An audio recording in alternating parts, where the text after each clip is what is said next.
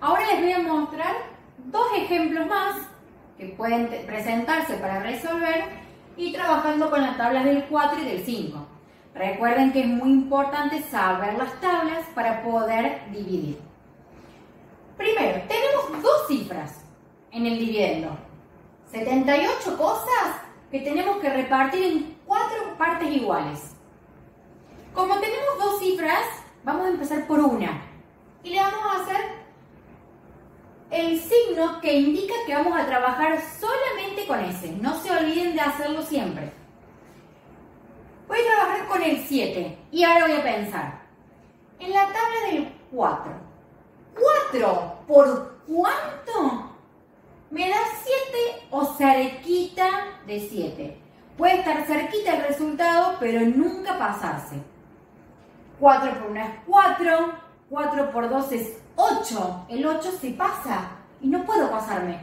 Entonces el 2 se pone muy grandote, vamos a, a poner el anterior, que es el 1. 4 por 1 es 4. Y ahora pienso, 4 por 1 es 4. ¿Cuánto me faltaría para llegar al 7? Ya tengo 4, 5, 6, 7. Me faltan 3 numeritos. Y como estoy trabajando con el 7, lo voy a poner a ese 3 que me falta abajo del 7. Perfecto, termino con el 7.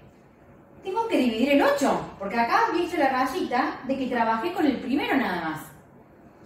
La segunda cifra, cuando la quiero dividir, no se puede quedar allá arriba, porque este número no me puede quedar solito.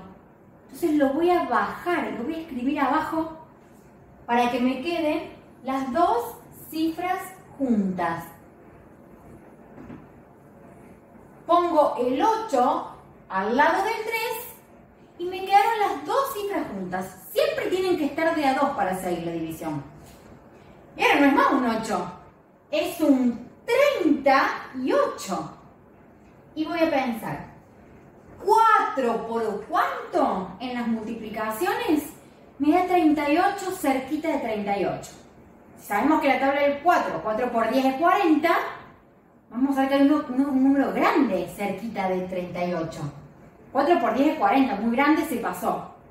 Vamos a ir para atrás. 4 por 9 es 36. Está cerca del 38 y no se pasa.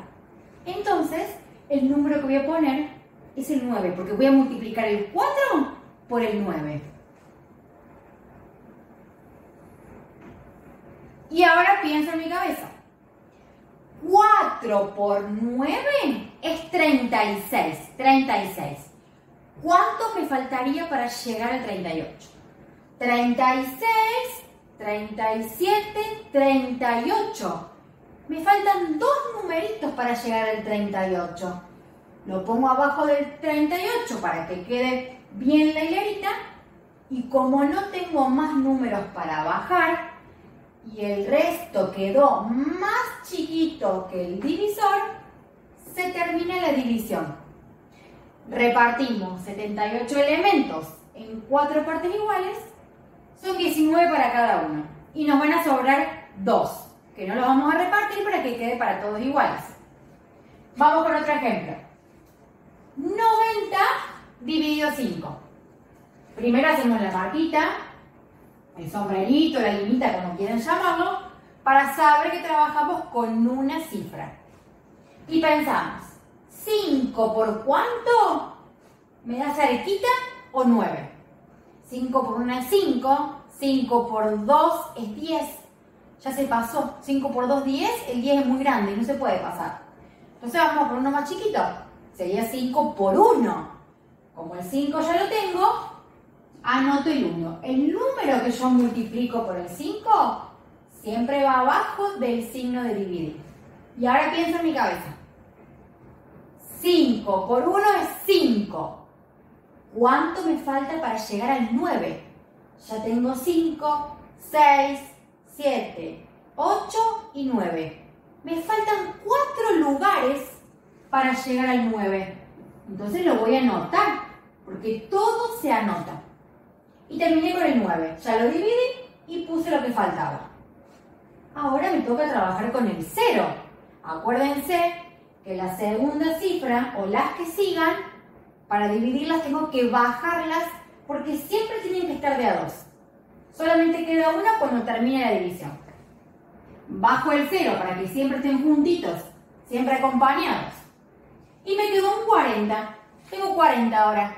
Y ahora vamos a pensar.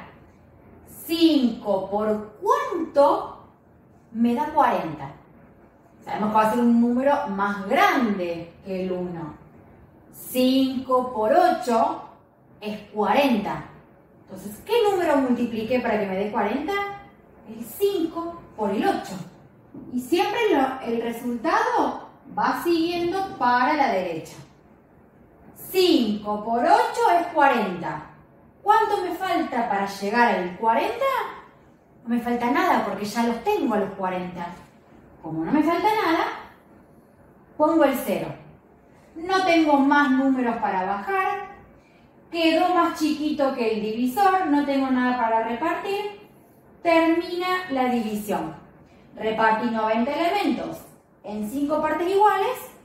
El resultado es 18 para cada uno y no me sobró nada. Repartí todo.